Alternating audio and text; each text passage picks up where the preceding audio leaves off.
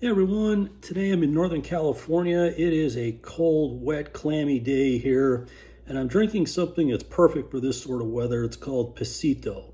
Uh, is the Italian word for raisin, and I'm not talking about those little disgusting things that you used to eat as a kid. These are more like semi-dried. Uh, it's a really common ancient uh, method of making wine in Italy, uh, probably best known for Veneto, but I'm drinking one from Umbria today, and it's a uh, Montefalco Sagrantino. And this grape variety is typically hard as a rock, really inaccessible stuff. But this Passito style tends to soften it. It makes it really round, rich, really accessible.